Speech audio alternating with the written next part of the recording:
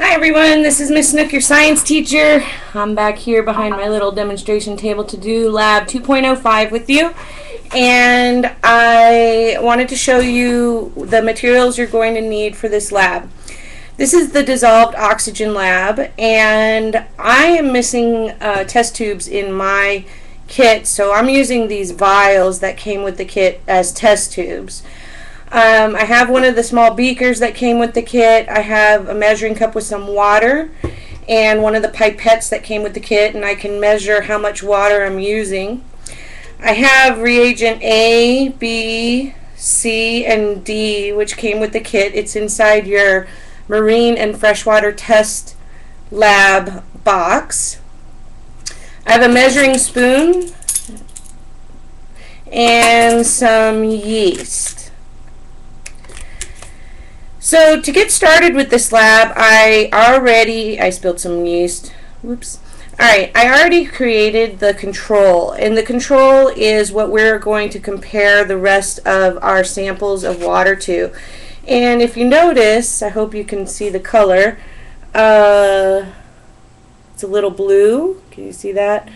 And it is matching this card that came with the kit that has a light uh, greenish color to it and a light blue-ish color to it. We want our water to turn blue. This is our goal in this lab.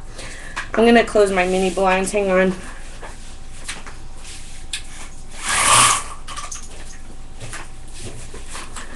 Ah, much better. Hopefully you can see that color a little better. I know there's a little bit of a glare. I'm sorry. So I already prepared the control. That's phase one of the lab is making the control. And when you see your lab report, you're going to fill in the data on your lab report for phase one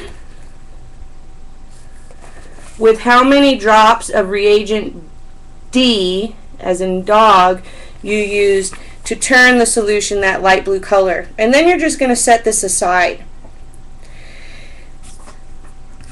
In phase two, you're going to make a yeast solution, and you can get yeast at the grocery store. If you do, it's very expensive, but you can also find it at dollar stores. And what you need to do is measure out 20 milliliters of water, which I already have done and put into this beaker. And you need a half teaspoon of yeast. You're going to dump the yeast in the water. You don't want the water to be hot. It'll kill the yeast. Yeast is actually alive. It's dormant when it's in the package, but when you add it to water, it becomes active. Yeast is a type of fungus, and it is found in foods that we eat. Then I'm going to take the pipette and just gently stir the yeast around in the water with the tip of my pipette without squeezing the pipette. I don't want to get any yeast inside the pipette yet. The next thing I'm going to do is go ahead and fill up a test tube or if you have to use these little vials that came with your kit a um, with six milliliters of water and so I've already done that I have a, a clean test tube slash vial here with six milliliters of water and for phase two of this lab I'm going to take 10 drops of this yeast solution and put it in the water. This is going to act as our organism in our makeshift marine habitat.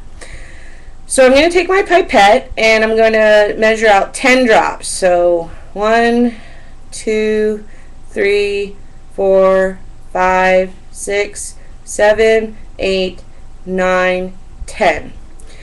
And what this is going to act like is some pond water with an organism living in it. You want to be gentle with this because the yeast is alive and you can affect it by shaking it too much.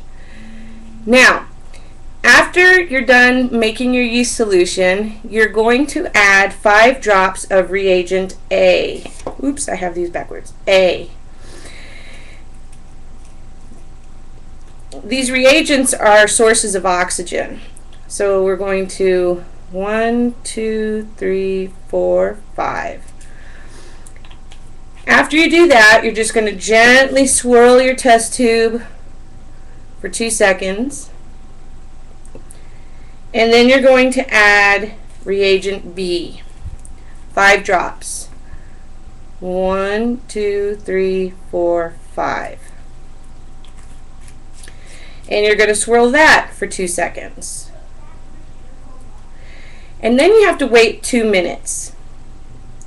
So while we're waiting the two minutes, let me just talk to you a little bit about this lab. This lab is demonstrating uh, understanding the relationship between waste and dissolved oxygen found in the world's water in our ecosystems. And we're going to learn about eutrophication. Eutrophication is the magic word for this lab. And it is a process that hurts our water systems. When something like a pond or a river uh, becomes eutrophied, that means that it has been contaminated with chemical nutrients, uh, for example, from fertilizer, or excessive nutrients like too much plant matter, too much algae. And then what happens is it takes oxygen out of the water so that animals can't breathe, and it doesn't make it a um, favorable place for these organisms to live. In addition, when the organisms are in the water, if there's too many organisms in the water, they're constantly producing waste as well. And that waste uses a large quantities of oxygen. So the more waste that is in water, the less dissolved oxygen is available for the fish and other aquatic life that needs to be in there. So we're trying to demonstrate that by creating an artificial pond-like environment and then uh, polluting it, putting an organism in it, and then polluting it and seeing if we can create eutrophication. So we need to measure the amount of oxygen that is dissolved in our sample. Uh, this is the oxygen that's trapped between the water molecules. And it is important because without the oxygen, fish and other organisms could not survive. So we need um, to measure the oxygen that is available. And what's happening right now in our little yeast environment here is those yeast are alive in there and they're doing their thing while they're in there, consuming oxygen, and they are excreting waste. And as the the balance shifts in the water, where normally the water is, is balanced, the yeast are taking up oxygen, so there's going to be less and less oxygen available for other organisms. Okay, so it's been about two minutes, so we're going to add reagent C, and we're going to add five drops. One, two, three, four, five. And we're going to sh gently shake that for two seconds. And wow, it already turned a kind of greenish blue. Hope you can see that. Now, I still have to add reagent D. This isn't blue yet. And reagent D, we add one drop at a time and count the drops until we see a blue color like what is in our control. And so I already made the control. I already know what I'm looking for. So I'm going to add one drop to my pond water swirl. It's still looking a little green, greenish yellow. I want it to more look blue. Swirl it around. It's getting there. I just added two drops. And three. Let's see. And it's looking pretty blue right there.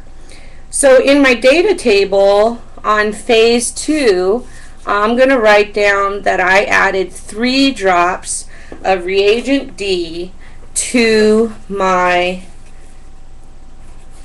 water with the yeast. So in the phase one, it took six drops.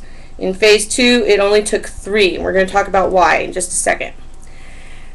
Now, in phase three, I'm going to take another six milliliters of water, and this is just plain water, and I'm going to add 20 drops of my yeast solution instead of 10.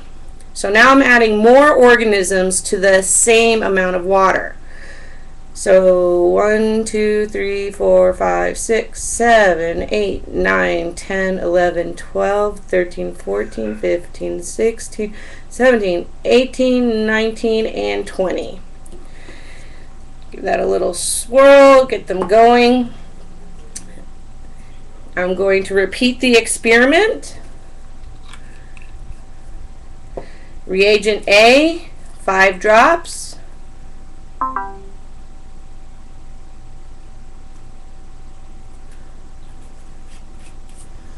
Give that a gentle swirl. Reagent B, 5 drops.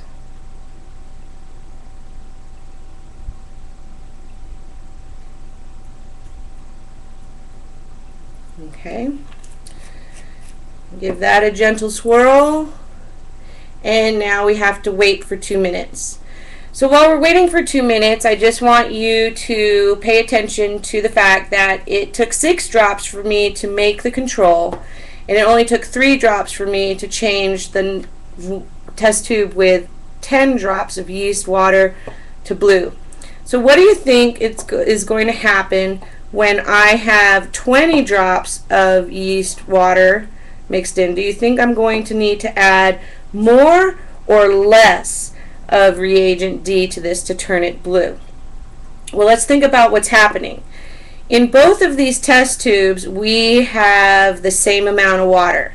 The difference is, is that in the same amount of water, this test tube from phase two only has, let's say, 10 particles of organisms. But in this test tube, we have 20 particles of organisms.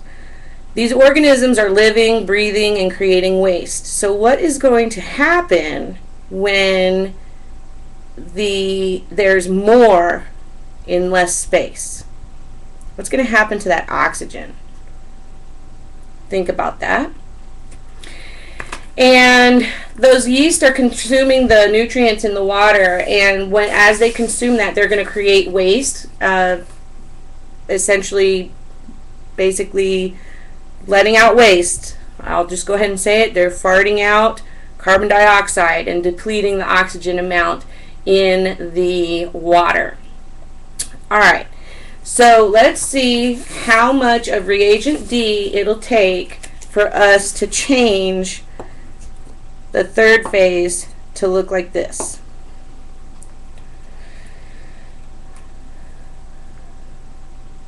One drop at a time. That's one.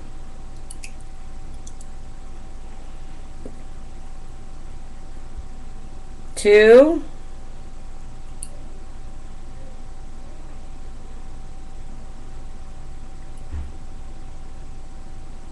Oops, I added reagent D before I re added reagent C. Whoops, totally messed up. Alright, let me start that over. I'm rinsing out the test tube. I'm adding, just rinsing out that test tube and adding the six milliliters of water. adding my 20 drops of yeast again. 1, 2, 3, 4, 5, 6, 7, 8, 9, 10, 11, 12, 13, 14, 15, 16, 17, 18, 19, 20. We're going to add the 5 drops of reagent A.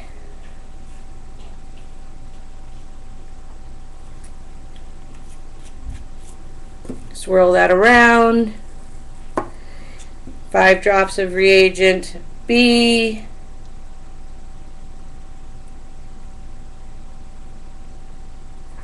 Swirl that around. And then we have to wait two minutes. I'm going to stop the video here, wait the two minutes, and then start it up again. And I'll be, see you in the second half of this video.